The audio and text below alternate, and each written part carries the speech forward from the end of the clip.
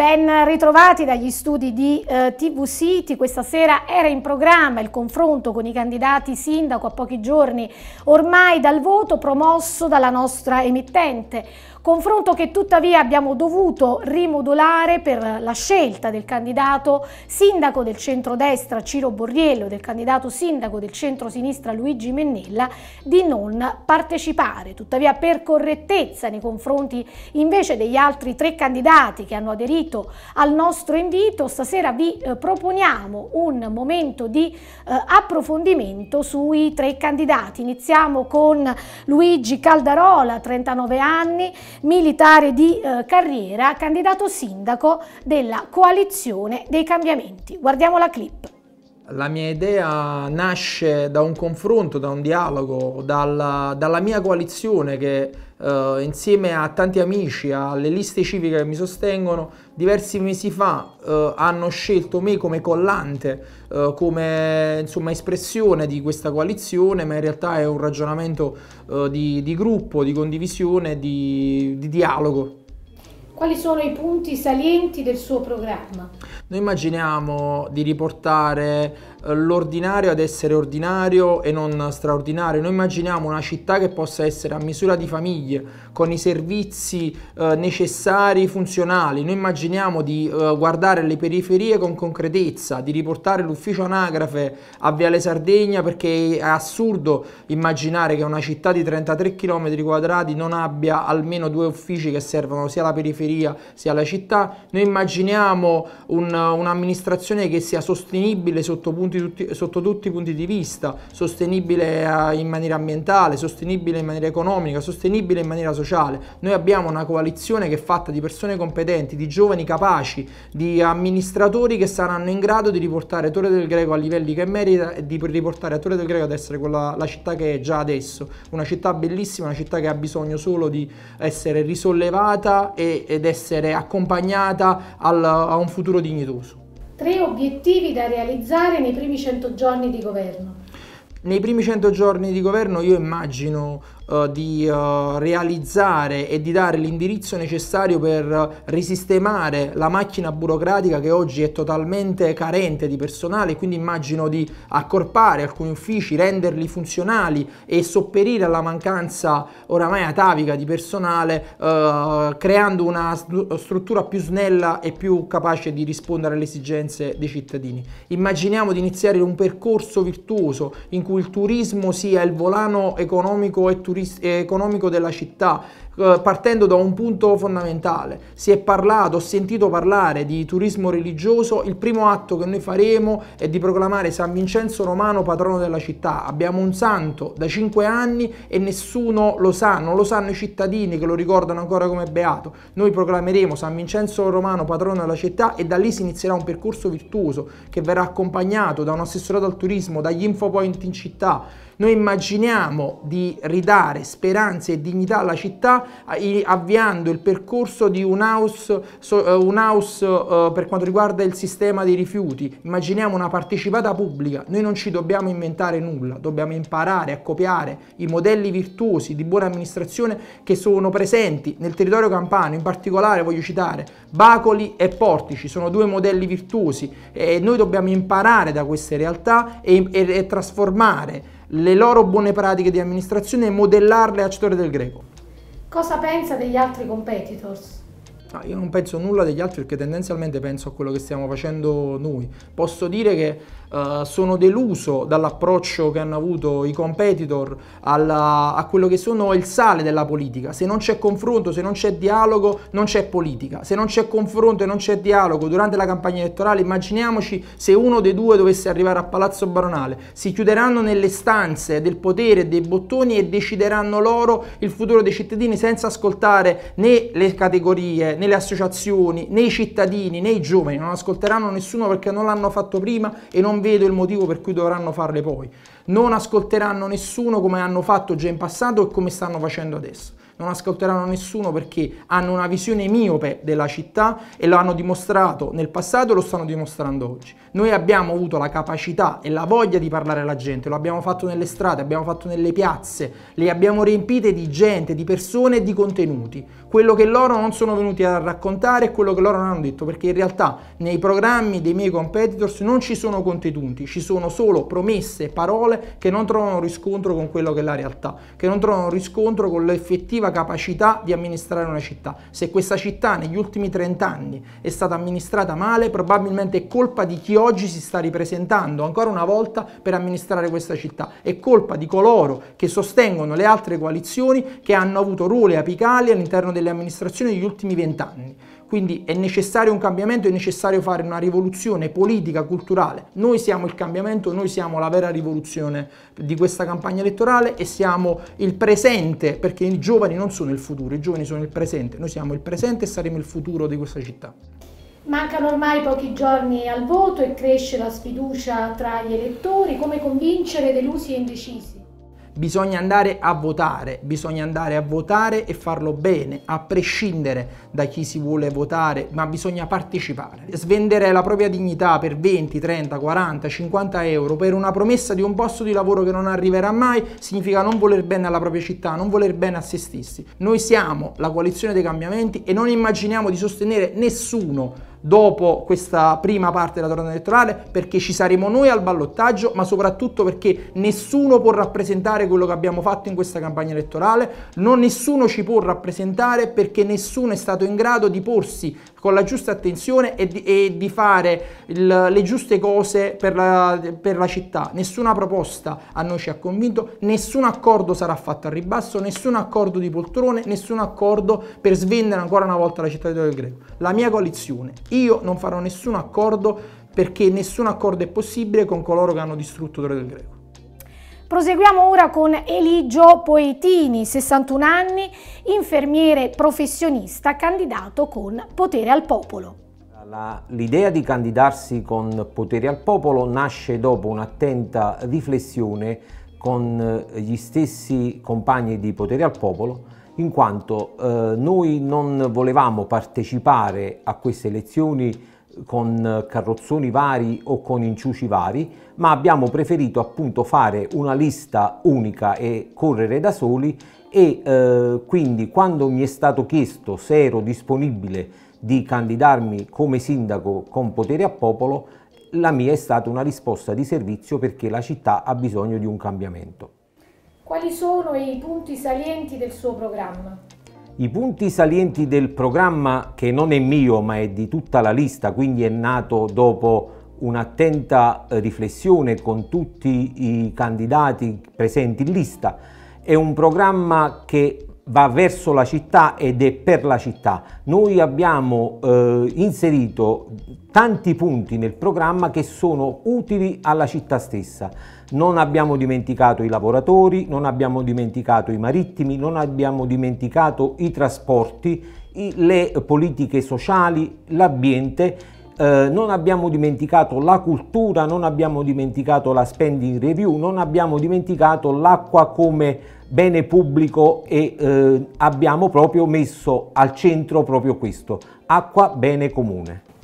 Tre obiettivi da realizzare nei primi 100 giorni di governo. Le problematiche per la città sono tante, ma secondo eh, un mio modesto parere la cosa da fare principalmente è quella di mettere in atto quei progetti che sono stati accantonati o mai realizzati e che hanno i fondi necessari per poter essere poi realizzati. Vi definite l'unica lista popolare di sinistra, perché? Perché veramente siamo l'unica lista di sinistra noi siamo veramente l'espressione della sinistra perché nella coalizione di centrosinistra non vediamo una sinistra che guarda verso la gente, verso il popolo, verso i lavoratori e verso le eh, fasce deboli presenti in città. Cosa pensa degli altri competitors?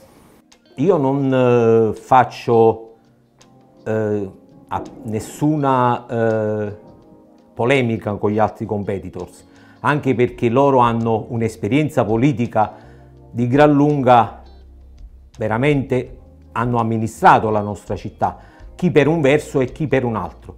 Hanno il coraggio di ripresentarsi nonostante lo, le loro precedenti eh, cariche istituzionali non hanno sortito un grosso eh, favore alla città stessa.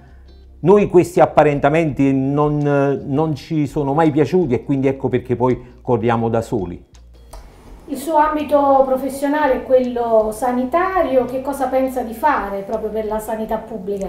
Era un altro punto presente nel programma, eh, la sanità pubblica, anche perché eh, lei sa bene che il sindaco è il primo responsabile della sanità pubblica del suo, della sua città. Eh, lasciamo perdere l'ospedale perché è di competenza regionale e quindi non tocchiamo eh, tasti che non sono di competenza poi di un'amministrazione comunale se non quella di insistere a livello regionale di tenere presente che una città così grossa non abbia un ospedale funzionante per il bacino di utenza che può eh, essere attivato in città stessa. Però per la sanità pubblica un sindaco può intervenire in quello che sono i servizi primari della città, eh, voglio pensare all'assistenza domiciliare integrata, voglio pensare al eh, centro unico di prenotazioni, a quelle file interminabili quando si deve eh, fare la scelta eh, o la revoca di un medico. In questo settore il sindaco invece può intervenire facendo appunto il passaggio direttamente con il direttore del distretto. Come invece pensa di riorganizzare la macchina comunale? Innanzitutto la macchina comunale va riorganizzata con nuove assunzioni, con eh, personale competente e capace. Eh, la riorganizzazione passa attraverso appunto una serie di eh, cose che noi abbiamo inserito nel nostro programma che abbiamo presentato alla città. Eh, fonti di eh, giovani che possono eh, fare da eh, guida eh, nel, nei vari posti belli della nostra città e sia per esempio anche per il litorale fare in modo che queste cooperative sociali possano avere in gestione gli spazi, i lidi eh, eh, pubblici e quindi dare in gestione a loro, quindi ampliare i servizi per la città, per il bagnante che vuole avere uno spazio proprio. Mancano ormai pochi giorni al voto e cresce la sfiducia tra gli elettori. Come convincere delusi e indecisi? E penso che i, i, delusi e gli indecisi siano tanti perché eh, sono scoraggiati dalle precedenti amministrazioni. Io invito tutti a votare perché il voto è un atto di democrazia e poi se noi votiamo possiamo essere poi parte attiva alla vita politica della città stessa. Possiamo veramente poi chiedere quelli che sono i nostri diritti perché non dimentichiamo che ognuno di noi come cittadino ha dei diritti e dei doveri. È importante votare, è importante capire che, che cosa votare, è importante capire quale è realmente il voto utile alla città e secondo noi potere al popolo è l'unico voto utile veramente per la città che possa avere quel rilancio tanto atteso negli anni. Infine, Michele Battiloro, 58 anni, musicista, si definisce il sindaco del popolo. Mm, ho scelto di candidarmi un po' per dare voce a quella fetta di popolo che non crede più nella politica, a quella fetta di popolo veramente con disagi, quelle famiglie che veramente non possono andare più avanti, eh, nessuno se ne è accorto di queste famiglie, ehm, per quella fetta di popolo diciamo, di anziani che sono costretti a stare nel letto con 500-600 euro di pensione al mese senza assistenza e senza, um, senza niente. E anche per un po' per cercare di cambiare questo sistema politico eh, diciamo territoriale che ci ha portato veramente al degrado assoluto. Avete visto ultimi, negli ultimi anni ma non solo negli ultimi cinque anni che è stata proprio la ciliegina sulla torta, quello di Palomba, ci hanno proprio distrutto una città, mm, strade dissestate, uh, c'è immondizia dappertutto, spazzatura e tutto il resto. Diciamo l'amministrazione era assente, assente sul territorio questi candidati, diciamo questi consiglieri comunali si, si sono visti solo durante le elezioni, eh, il momento elettorale e non giravano dei territori e non sapevano quello che succedeva dei territori. Mi sono candidato proprio per dare voce al popolo e non solo, perché comunque io faccio parte di un partito storico, stiamo combattendo da 30 anni con la democrazia cristiana, sono un dirigente nazionale di questo partito, vera democrazia cristiana, non di qualcuno che è candidato con i repubblicani, anche perché l'articolo 118 dello Statuto Democrazia Cristiana dice che chi si candida in altri partiti non decade, ma anche se fosse vero, parlo di qualcuno che eh, si è auto, autonominato segretario nazionale della Democrazia Cristiana, sta combattendo da 30 anni. Sappiamo benissimo questo partito di benessere che ha dato al uh, popolo italiano nella Prima Repubblica e non lo possiamo negare. Domandate ai nostri, ai nostri nonni, ai nostri avi. Dunque le è stato accordato il permesso di utilizzare allora, il logo? Allora, il permesso del logo. Allora, dovete sapere che ho presentato anche il logo nel 2000, il 2018. Pensate che io sono stato candidato da dirigente nazionale anche uh, alle regionali delle Marche nella, nella circoscrizione di Ancona. Abbiamo i nostri, i nostri diciamo, consiglieri comunali uh, ad Ercolano con questo logo. Anche nel 2015 fu eletto un consigliere ercolano ad Ercolano. Tre obiettivi per la città. Le famiglie, le famiglie, stare molto vicino a queste famiglie che veramente adesso che il reddito di cittadinanza lo stanno togliendo, dovete sapere che specialmente nelle mie zone native, eh, zone diciamo un po' più abbandonate negli ultimi anni eh, dall'amministrazione comunale e tutto, ci sono molte persone che percepivano il reddito di cittadinanza, anche se sono stati attaccati molto questo, su questo reddito di cittadinanza, e adesso ci sono molte mamme veramente con bambini piccoli eh, che devono andare a lavorare palazzi per 5 euro all'ora. Il primo obiettivo è stare vicino a queste famiglie, mh, mm, vicino uh, anche agli anziani, bisogna dare un'assistenza agli anziani che prendono 5, una misera pensione di 500-600 euro al mese, bisogna creare un qualcosa per dare assistenza a questi anziani che mh, poverini quasi quasi sono, sono, destinati a morire soli come cani e no, la prima cosa sono le famiglie, l'avvicinamento alle famiglie, solo così possiamo un po' cercare di migliorare anche le future generazioni perché non, è normale che poi un bambino si può anche perdere con il tempo, eh, non lo so, prendendo brutte strade, non avendo una giusta eh, indicazione anche, anche economica e sociale.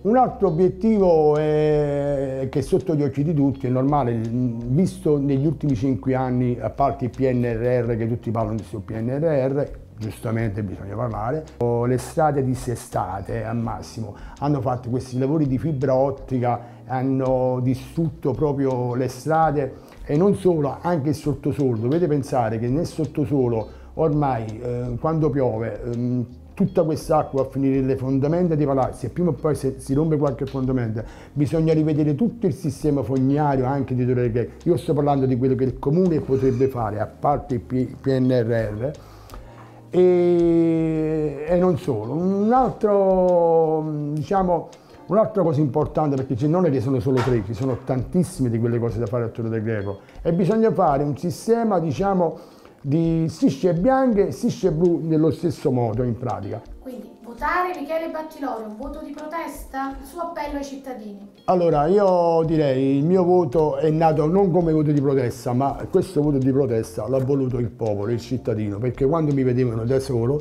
dicevano è un voto di protesta e lo è diventato. Sì, votare Michele Battiloro è un voto di protesta a tutto questo sistema che ci ha degradato negli ultimi 30 anni. Speriamo che questa trasmissione sia stata di vostro gradimento, restate informati seguendo i nostri eh, canali, continueremo a eh, seguire le elezioni nella città di Torre del Greco.